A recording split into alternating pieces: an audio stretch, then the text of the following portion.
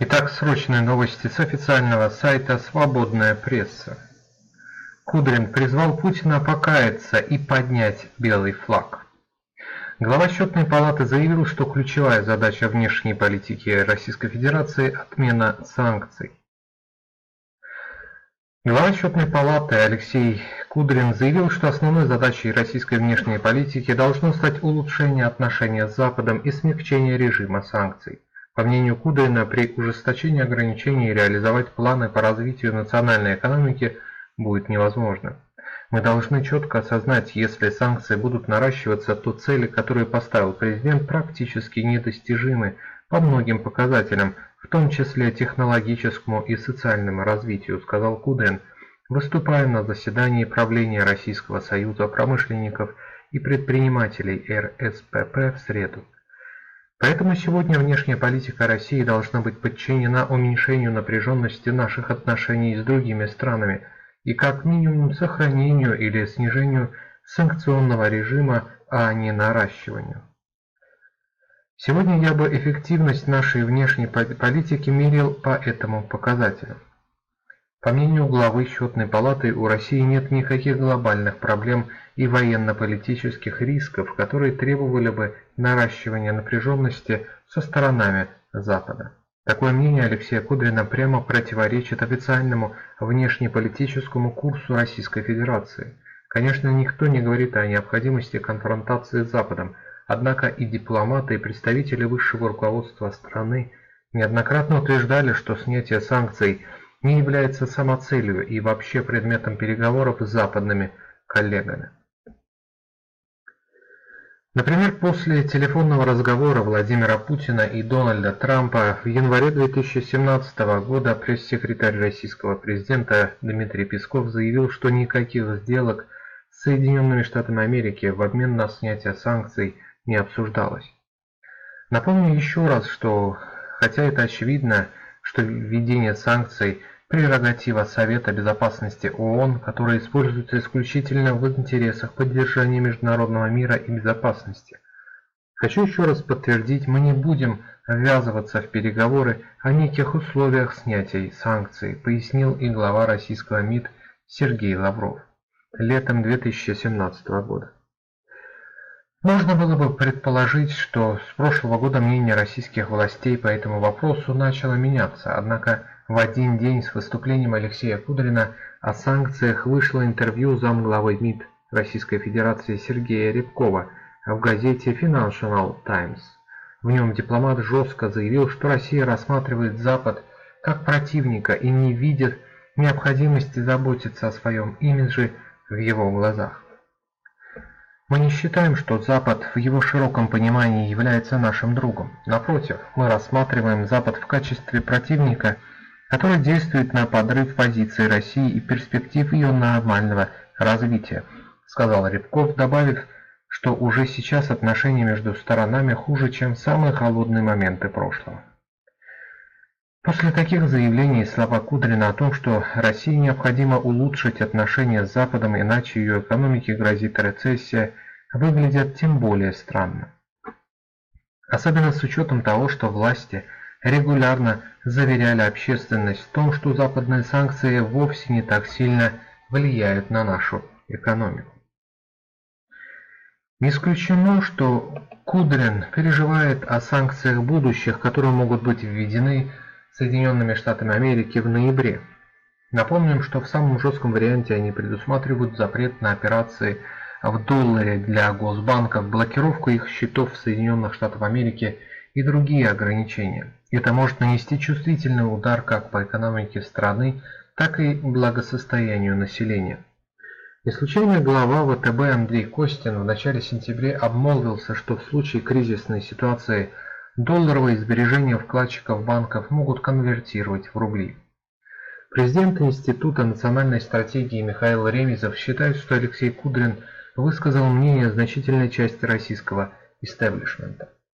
Но желание отменить санкции любой ценой может оказаться более губительным для России, чем любые ограничения Запада. Это мнение значительной части российской элиты, которую принято называть системными либералами и которая имеет серьезную поддержку и представительства среди крупного бизнеса. Не случайно Кудрин высказал эти идеи на заседании РСПП. Это не его личное мнение, а своего рода неофициальный коллективный манифест. В этом качестве эти утверждения заслуживают серьезного внимания. Если кратко их комментировать, можно использовать клише времен Первой мировой войны – глупость или измена. Если Кудрин и его единомышленники думают, что пассивно-выжидательная позиция или какие-то косметические уступки могут обеспечить замораживание или улучшение санкционного режима, это глупость. Частью стратегии наших геополитических оппонентов является управление неопределенностью и создание ожиданий по поводу ухудшения режима ограничений. Управление этими ожиданиями является частью формулы эффективности санкционной войны. Санкции ведь можно трактовать двояко. Либо по принципу «все, что не запрещено, разрешено», либо по совершенно другому принципу «все, что разрешено сейчас, может быть запрещено уже позже». Соединенные Штаты делают все для того, чтобы э, все ориентировались на вторую формулу. Этой цели служит инициирование всех новых санкционных мер под надуманными предлогами. Еще большей глупостью можно считать предположение, будто у России есть дешевый выход из холодной войны, что отношения могут можно улучшить ценой незначительных уступок, не затрагивающих коренных интересов страны. Можно вспомнить об аналогичных иллюзиях советского истеблишмента в 80-е годы. Те, кто со стороны СССР реализовывал политику нового политического мышления, Горбачев, Шеварнадзе, Яковлев и другие, исходили из предложения, что можно выйти из ситуации холодной войны, оставшись при своих.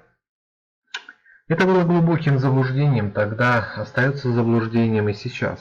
Нет такого сценария, при котором поражение будет дешевым. Поражение в новой холодной войне будет не менее тяжелым, чем в предыдущей. Речь о потере территории, вывозе ценностей на триллионы долларов, утечке мозгов, экономическом коллапсе, социальной дезориентации и деморализации. Если же Кудрин и его единомышленники понимают, что цена не может быть высокой, но все равно предлагают ее оплатить, в силу вступает вторая часть этого риторического вопроса об измене. Представители этих кругов уже не в первый раз озвучивают такие идеи. Был соответствующий доклад Комитета гражданских инициатив, думаю, не последний. Сегодня это одна из важнейших линий напряжения российской политики. СП. Кудрин утверждает, что если санкции не смягчить, мы скатимся в рецессию. Как быть с этим? Единственный способ справиться со сложной ситуацией экономического развития в условиях санкционного давления состоит в том, чтобы перестроить экономику и систему управления, исходя из не просто длительной, а бессрочной экономической войны. Если у России это получится, то, может быть, через полтора-два десятилетия она сможет рассчитывать на нормальные отношения с Западом. Кудрин утверждает, что у России нет глобальных проблем с Западом, но как же, к примеру, Крым или вопрос расширения НАТО на восток? Можно очень много спорить о том, стоит ли игра свеч при наличии того или иного конфликта, но с момента, когда конфликт уже начался, он развивается по собственной логике. Сейчас речь идет не просто о геополитических интересах Российской Федерации, а о глобальных ставках Соединенных Штатов Америки – их понимание мирового лидерства как мирового господства.